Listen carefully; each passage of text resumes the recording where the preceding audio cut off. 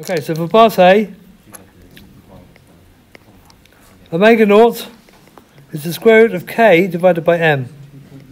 Okay, for any single degree of freedom system, yeah, um, when it's undamped, oscillates at this frequency. So it's got a natural frequency of root k upon m. So we've got root 72 times 10 to the 3, because it's kilonewtons per meter, divided by divided by 125. And if you do the sums, that comes out to be 24 radians per second.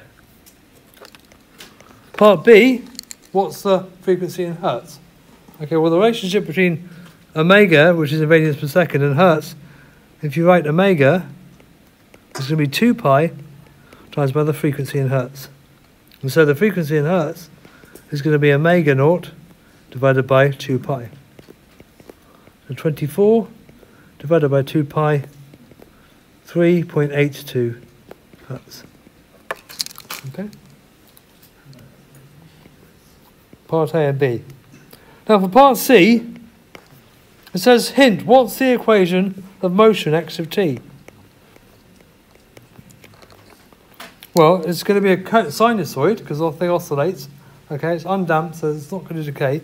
But sinusoids always have an amplitude. Okay, cosine will give me a sinusoid shape, and I've got a frequency times by time plus a phase, which will shift it left and right. Any sinusoid that's centered around zero, will, you can be written like this. Okay, there's another way you could write it, but that's the way, way I'm going to write it here. Okay. Now, what, what we know A, because it says we've, we uh, shift the mass, we extend it to 34 millimeters, which is happens to be the amplitude. We know the frequency, because we calculated it. Now, for this value, okay, let's think about what the shape looks like.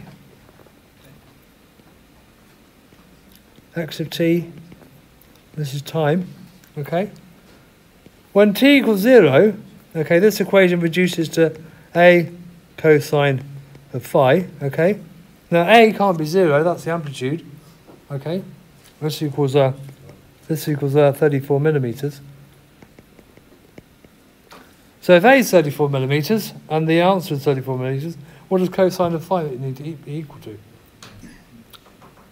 One. Where is cosine, where is um, cosine, uh, where is phi when you need cosine of phi to be one? What's the shape of cosine? Where does it start? It starts at 1, doesn't it? So phi must therefore be 0. Yeah, because cosine of phi, when phi is 0, equals 1, which is what we wanted to be. Okay? So that's, what, that's how you work out what the phi is.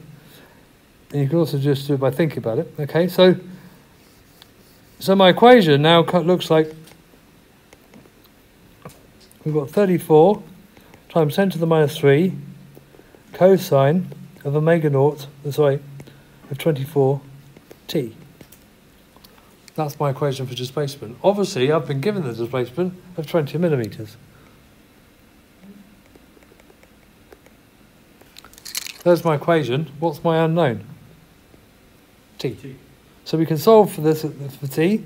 t is going to be the inverse cosine of 20, uh, 20 divided by 34, all divided by 24. And if you do that sum, sorry? 20 divided by 34, all, well, there's a 10 to the minus 3 on top and on the bottom, so they disappear. Yeah? Divided by 24, that equals 0.0392, I believe. That's uh,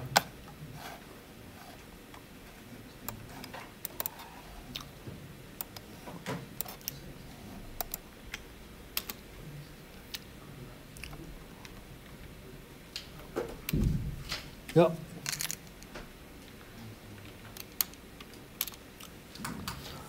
Okay, so then I need to, I've got my time, so I need now I need to find my velocity.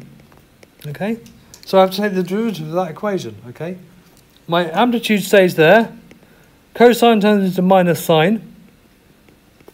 I've got my omega naught t, But I need to apply the chain rule, which is so I need to take the omega naught out as well. Okay, there's one. There's my equation. Velocity, displacement. Do it again. So we've got a minus a omega naught. Now I've got cosine of omega naught t, and another omega naught comes out. So I've got a minus a omega naught squared. Now it looks like this is also equal to omega naught squared x of t. Because x of t is a cosine omega naught t. Yeah? Up here. And so my equation, so here I've got minus 34 times 10 to the minus 3 times by 24 sine of 24 0.0392 and here I've got minus 24 squared times by 20 millimeters. Okay, this, when you do that sum, oops, minus 0.66 meters per second.